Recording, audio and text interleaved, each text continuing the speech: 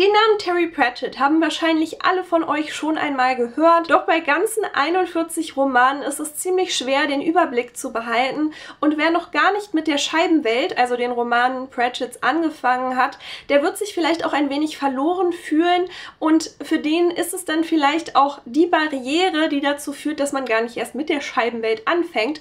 Und bei diesem Problem steigt dieses Video ein und ich hoffe, dass nach diesem Video alle von euch wissen, wie sie mit der Scheibenwelt anfangen können und ich hoffe, ihr habt ganz viel Spaß mit dem Video. Bleibt doch gerne dran, wenn es euch interessiert.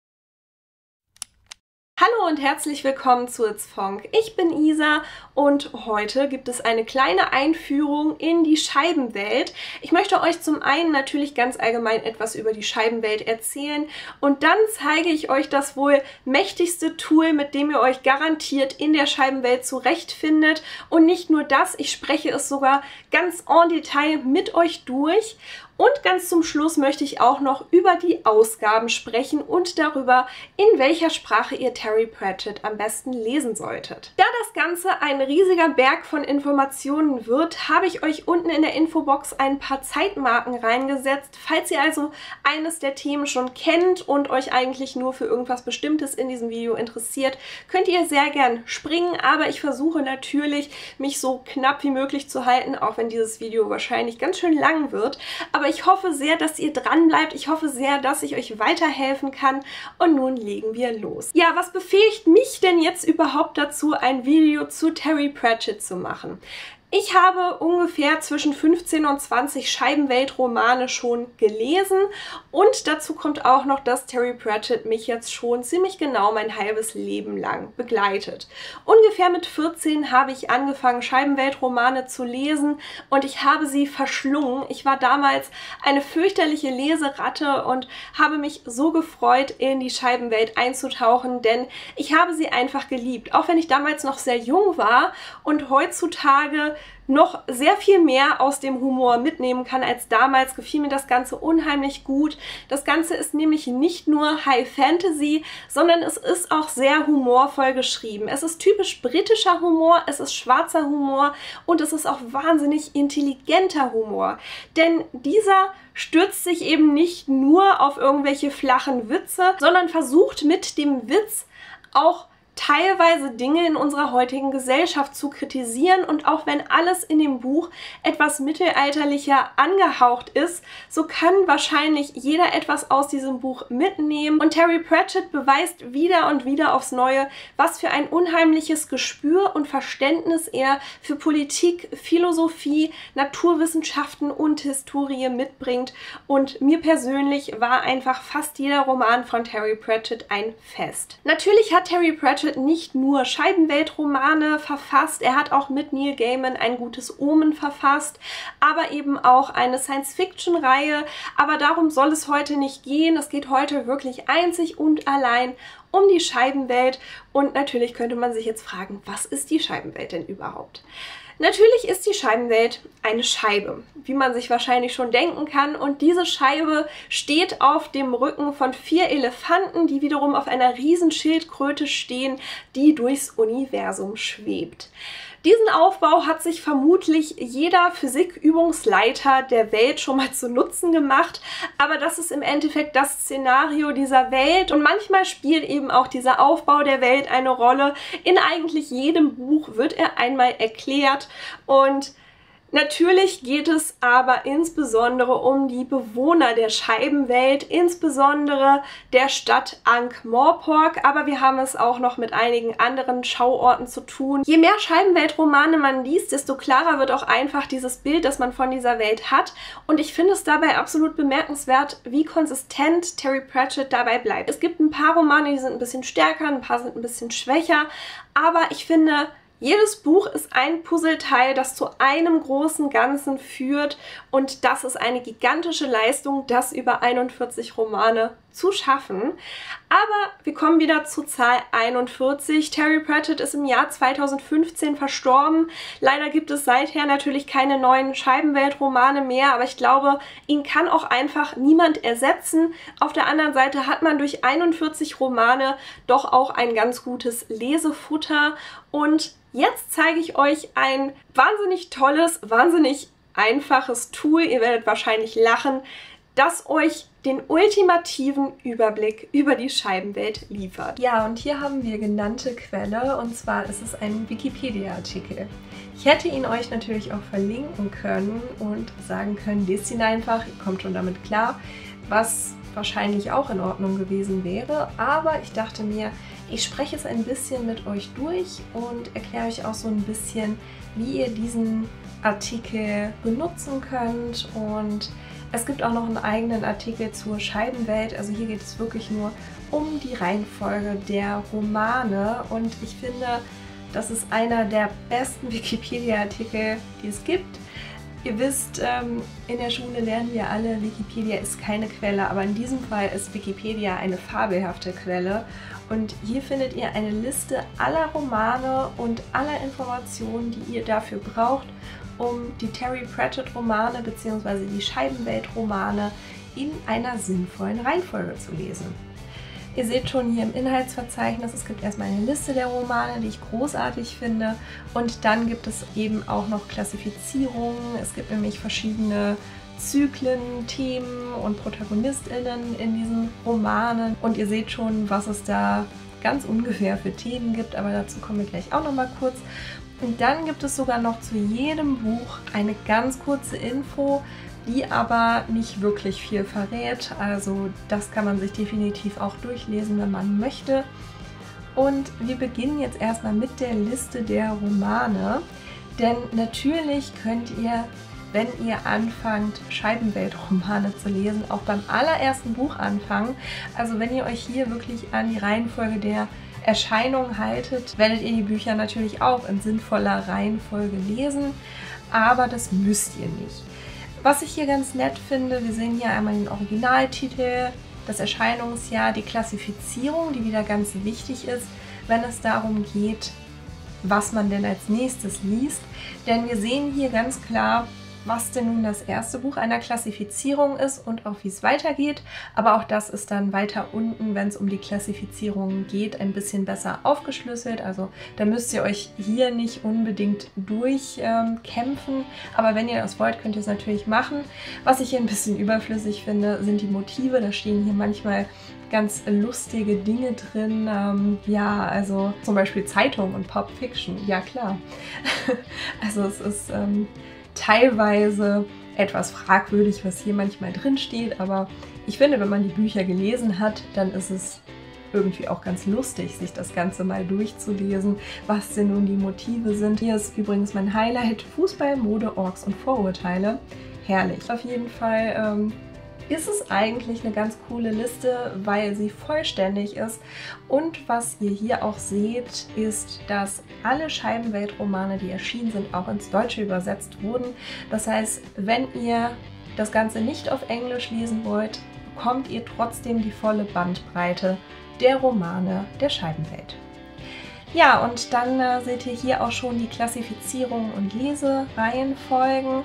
Und das ist auch was, das ich definitiv befürworte, und zwar, dass man auf die Klassifizierung achtet und vielleicht sich eine Klassifizierung raussucht, wie zum Beispiel die Geschichten über den Zauberer oder die Hexengeschichten, den Tod oder auch die Stadtwache und einfach mit dem ersten Buch dieser Klassifizierung anfangt. Und wenn einem die Klassifizierung dann doch nicht so ganz zusagt, kann man sich dann eben auch nochmal einen anderen ersten Band nehmen und so baut sich auch die Scheibenwelt für einen persönlich irgendwie logisch auf und ja, man kann dann natürlich auch eine Klassifizierung verfolgen, kann also alle Romane über den Tod lesen, über die Stadtwache und so weiter. Also ähm, ja, ihr seht schon, das Prinzip ist einfach, es gibt halt verschiedene Handlungsstränge und logischerweise fängt man am Anfang eines Handlungsstrangs an. Aber was auch ganz schön ist, ist die Tatsache, dass Figuren teilweise eben auch in anderen Romanen vorkommen, wie zum Beispiel der Hauptmann der Nachtwache ist dann natürlich auch in manch anderem Roman zu bewundern in manch einer Szene. Genauso tritt der Tod in relativ vielen Romanen auf, auch wenn man sich gerade nicht im Todzyklus befindet und so weiter. Also ihr seht, es ist eigentlich gar nicht so schwierig. Im Endeffekt ist die schwierigste Aufgabe, sich für ein Zyklus zu entscheiden. Hier unten steht nochmal, dass es nicht so wichtig ist, in welcher Reihenfolge man die Lektüre liest, dass es manchmal aber sinnvoll ist, sie in der richtigen Reihenfolge zu lesen und das kann ich auch bestätigen. Also es ist sobald man den ersten Roman gelesen hat, nicht ganz so wichtig, womit man dann weitermacht. Nichtsdestotrotz machen manche Charaktere auch gewisse Entwicklungen durch und natürlich verändert sich dann manchmal eben auch das Leben der Charaktere und ich finde es schon sinnvoller, dass man da dann vielleicht auch die Reihenfolge einhält, auch wenn die Geschichten dann oft in sich abgeschlossen sind. Es ist also zum Beispiel bei den Büchern über die Stadtwache nicht so wichtig, was man denn jetzt nach dem ersten Roman liest, denn die Fälle, die die Stadtwache dann irgendwie behandelt, die ähm, sind dann oft in sich abgeschlossen, aber die Charaktere machen natürlich auch persönliche Entwicklungen durch und wenn man da nichts verpassen möchte, kann ich definitiv empfehlen, sich trotzdem an die Reihenfolge zu halten. Auf der anderen Seite gibt es eben Klassifizierungen, die ich zu Anfang sehr gut empfehlen kann und andere, bei denen ich mir denke, dass es ganz gut ist, wenn man vorher vielleicht schon zwei, drei Scheibenweltromane gelesen hat, bevor man sich dann daran macht, einfach damit man die Welt schon ein bisschen kennt, damit man auch ein Bild hat, wie zum Beispiel auch die Stadt Ankh-Morpork funktioniert und ähm, es treten da dann eben auch Charaktere auf, die man dann idealerweise schon kennt, auch wenn die Hauptcharaktere oft andere, neue sind, die auch komplett von vorne an neu eingeführt werden.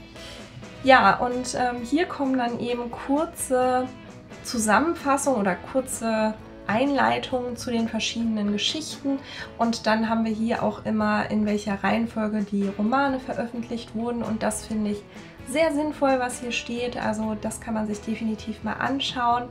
Und bei den Zauberern fängt das Ganze an. Das ist auch einer der ersten Scheibenweltromane, beziehungsweise der erste Scheibenweltroman ist die Farben der Magie. Da fängt das Ganze an. Es geht um einen Zauberer an der unsichtbaren Universität, der ein Abenteuer beschreitet. Das ist dann also ein relativ klassisches Fantasy-Abenteuer. Ich muss aber sagen, dass ich durchaus finde, dass die anderen Geschichten von Pratchett vielleicht nicht ganz klassische Fantasy sind, aber für mich doch mehr Alleinstellungsmerkmale haben und ich finde, das kann er auch irgendwie ein bisschen besser. Also hier am Anfang ist es quasi so, die sichere Zone, in der wir uns einfach ein Fantasy-Abenteuer anschauen und wir haben es mit Rincewind zu tun. Das ist ein Zauberer, das ist die Hauptfigur und er trifft dann aber auch noch seinen Weggefährten, mit dem zusammen er dieses Abenteuer beschreitet und das kann man natürlich zuallererst lesen. Das waren übrigens auch meine ersten Scheibenweltromane, aber ich finde auch, dass man definitiv mit anderen Geschichten anfangen kann. Aber wenn ihr euch für Zauberer, für Magie, auch für klassische Fantasy interessiert und euch nicht ganz so sicher seid, ob ihr mit den sonstigen Themen Pratchetts gut klarkommt, ist das natürlich auch eine sichere Sache, die ihr euch anschauen könnt.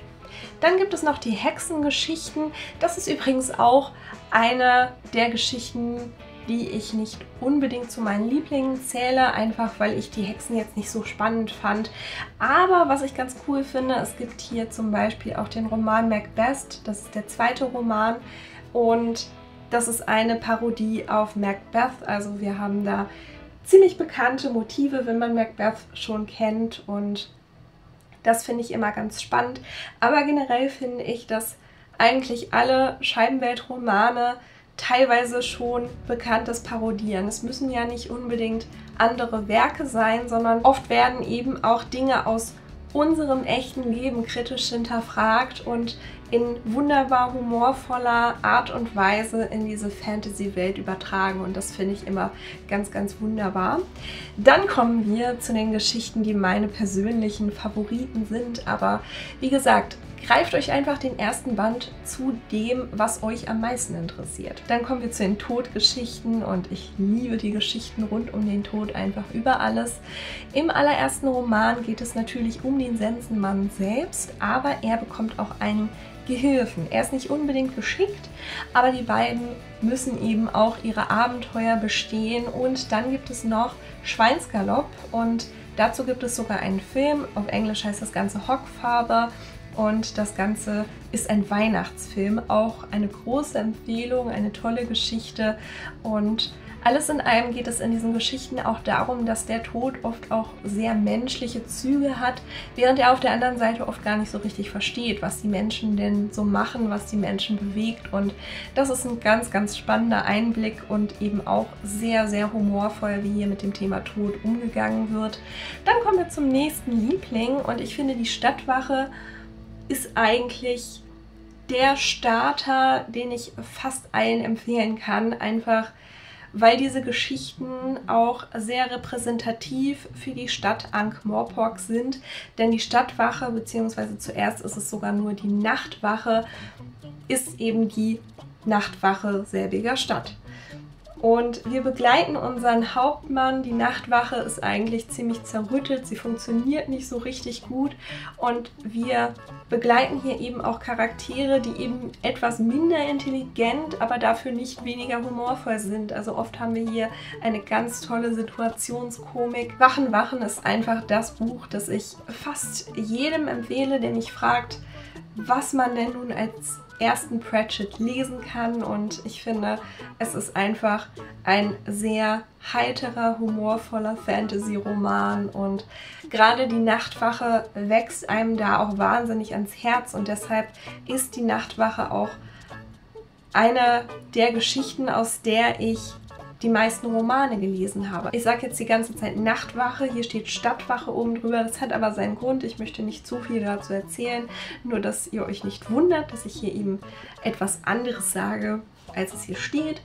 Aber nichtsdestotrotz ist die Stadtwache bzw. Nachtwache einfach eine gigantische Empfehlung. Ich liebe diese Charaktere. Ich habe bei weitem die meisten Scheibenweltromane aus dieser Sektion gelesen. Also da kann keine andere mithalten und ich kann sie einfach nur empfehlen. Ich wiederhole mich schon wieder tausendmal. Gehen wir weiter. Dann kommen wir langsam in die Richtung, in der nicht mehr ganz so differenziert wird, worum es geht, eben weil es auch Romane gibt, die jetzt keine so große Sektion aufmachen. So haben wir hier zum Beispiel die Ankh-Morpork-Geschichten. Da liebe ich die Romane rund um Feucht von Lipwig. Das ist ein Gauner, der aber von der Todesstrafe befreit bzw. vom Henker gerettet wird, auch wirklich ganz unmittelbar, damit er die Post instand setzt. Denn der Patrizier, der Tyrann von Ankh-Morpork, findet, dass das genau der richtige Mann dafür ist und setzt ihn ein, um die absolut nicht funktionstüchtige Post wieder salonfähig zu machen. Damit beginnt diese Sektion. Es wird auch noch aufgelistet, dass man vorher die volle Wahrheit lesen kann. Die ist aber etwas abgesetzt von Ab die Post, schöne Scheine und toller Dampf voraus. Es gibt dann eben noch die sonstigen Romane. Das sind teilweise wirklich Standalones, für die man aber oft besser schon mal ein paar andere Romane gelesen haben sollte. Und gerade hier bei den Ankh-Morpork-Geschichten und bei den sonstigen Romanen da würde ich auch wirklich sagen, die sollte man sich vielleicht nicht als allererstes schnappen, sondern bei denen sollte man vielleicht vorher mal 1, 2, 3 aus anderen Zyklen gelesen haben. Das war es hier vom Wikipedia-Artikel, aber den kann ich euch wirklich ans Herz legen. Den kann man sich als Lesezeichen speichern. Ich benutze den auch relativ häufig Gerade wenn ich überlege, was ich als nächstes lesen möchte von Pratchett, ist es einfach ein wunderbares Tool und ich kann es euch allen einfach nur ans Herz legen, wenn ihr Orientierungsschwierigkeiten habt, was man bei 41 Romanen ja ruhig mal haben kann. So, jetzt habt ihr hoffentlich alle eine Idee, mit welchem Scheibenweltroman ihr anfangen wollt.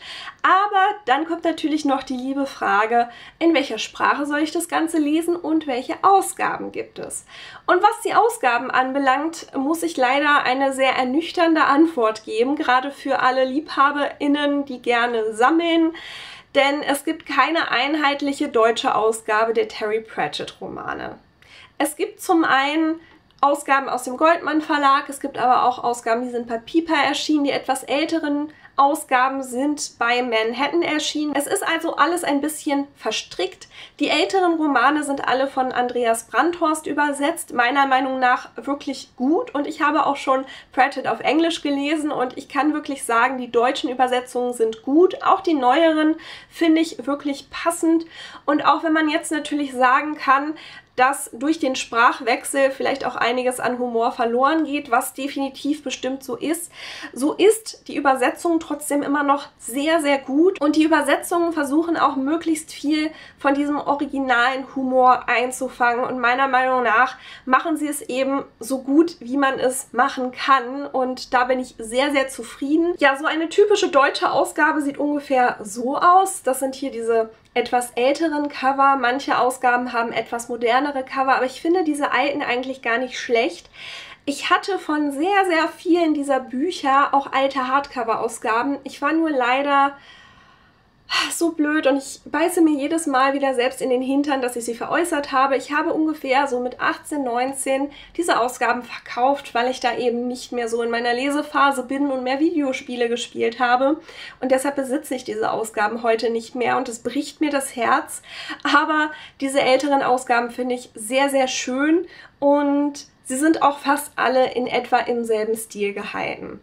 Dann gibt es noch englische Ausgaben und da gibt es eben eine Collectors Edition in Hardcovern, die eben wirklich toll gestaltet sind. Das ist jetzt die englische Ausgabe zu Wachen Wachen und da gibt es wirklich tolle Ausgaben. Ich kann euch hier auch nochmal meinen Liebling zeigen.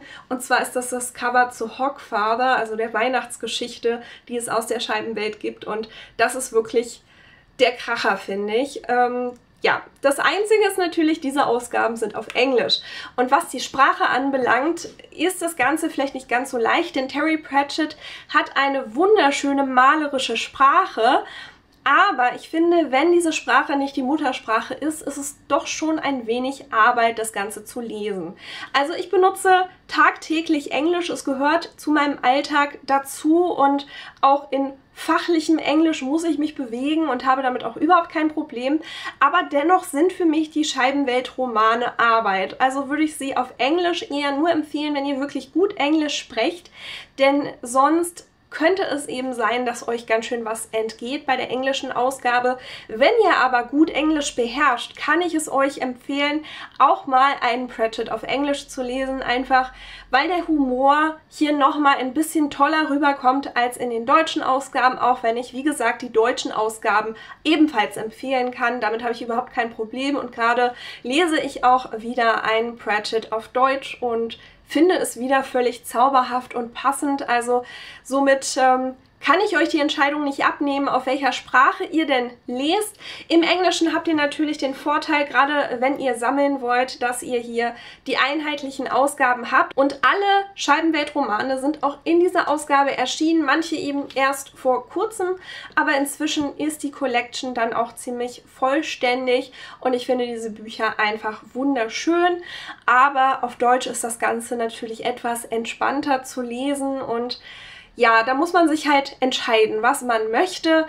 Ich persönlich muss auch sagen, ich würde mich jetzt auch nicht auf eine Sprache festlegen. Ich kann euch die Entscheidung, auf welcher Sprache ihr lest, absolut nicht abnehmen. Das muss jeder für sich selbst entscheiden.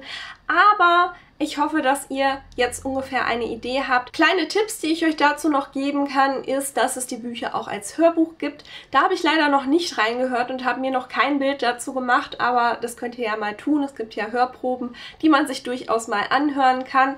Und man bekommt die Bücher zum Großteil auch wirklich gut gebraucht. Gerade die etwas älteren Bände bekommt man ziemlich gut, eben weil die auch schon seit den 80ern erscheinen. Somit sind die Gebrauchtportale doch relativ voll damit. Aber es gibt eben im Deutschen auch die Bücher fast alle als Taschenbuch. Somit ist es jetzt finanziell kein großes Risiko, einfach mal in die Scheibenwelt reinzuschnuppern. Und ich hoffe, dass ich euch Lust gemacht habe, das auch mal zu tun und keine Angst mehr davor zu haben, dass die Scheibenwelt 41 Romane umfasst, denn man muss definitiv nicht bei Band 1 anfangen und man muss sie auch definitiv nicht alle lesen, auch wenn das Suchtpotenzial ziemlich groß ist, wenn die Scheibenweltliebe erstmal entfacht ist. Und damit beende ich dieses kleine Video. Ich hoffe sehr, ich konnte euch weiterhelfen. Ich hoffe, das Video war, was ihr euch erhofft habt. Schreibt mir doch gerne eure Eindrücke zur Scheibenwelt unten in die Kommentare. Das würde mich sehr interessieren. Völlig egal, ob ihr jetzt Neuling seid oder eben auch schon seit Jahren die Scheibenwelt belest und liebt. Und ansonsten wünsche ich euch wie immer einen wunderschönen Tag und bis zum nächsten Mal. Tschüss!